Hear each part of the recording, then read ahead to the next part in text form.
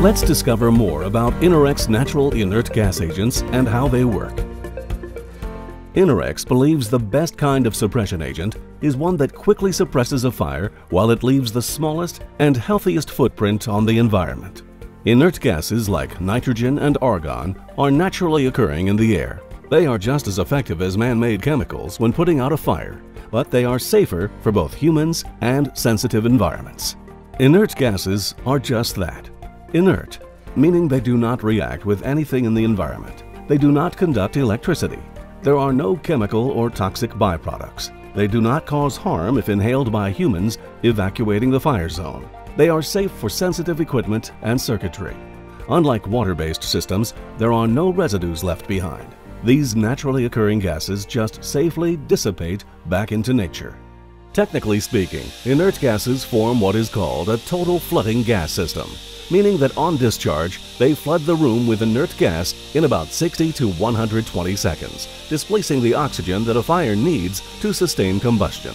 Fire cannot burn when the oxygen level drops below 15%. In nature, the normal oxygen level is about 19%.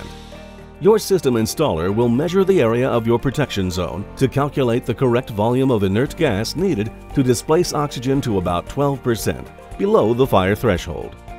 Importantly, humans can comfortably breathe until the oxygen falls below 10%, meaning no health risk to occupants during discharge. Unlike other chemical agents, mixtures of different densities of inert gases can be used to target the protection, depending on the geometry of the room and where the fire risk is located.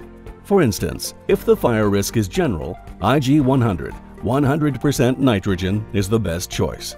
With a density similar to air, it disperses evenly around the room. But if the fire risk was more towards the floor, a higher density inert gas such as argon, IG-01, would be useful because higher density gas is heavier, so it tends to concentrate closer to the floor. Choosing the right inert gas mixture for your protection zone will provide better, faster suppression. Additionally, inert gases are ideal if your protection zone has complex geometry and enclosed areas. It is difficult for fluid-based agents to disperse into the myriad of crevices and enclosed spaces. However, inert gases easily diffuse throughout all the spaces of a zone, to every location from where a fire could start, for better fire suppression, even in hard-to-reach places. After a fire, the best practice is to let the inert gas sit in the room undisturbed for up to 10 minutes. During this time, the oxygen remains below the 15% fire threshold, which prevents reignition. This is a particular advantage in any protection zone with engines or electronics where reignition risk is high.